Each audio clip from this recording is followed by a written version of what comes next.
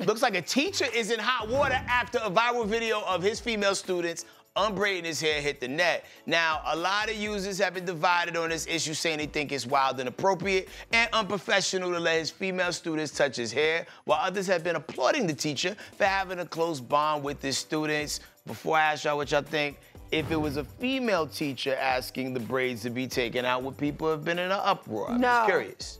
This is a lot. I heard he got fired. What? Really? Yeah.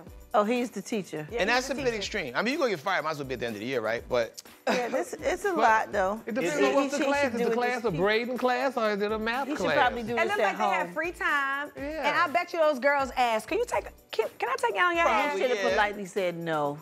Really think that's inappropriate? I don't think nobody's father would want to see their daughter taking down a, a man's hair that's supposed to be their teacher. But it's not just one, it's like seven of them. either none of them. Okay. They could be trafficked or something. I don't know.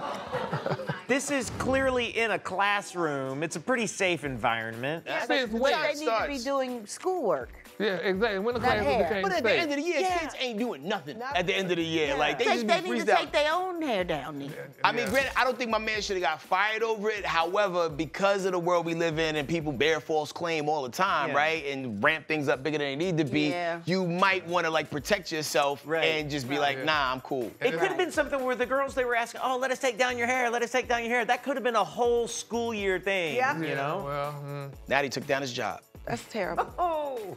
Hey, don't forget to hit us up on social media. We're on all these platforms at Dish Nation. We'll see you there.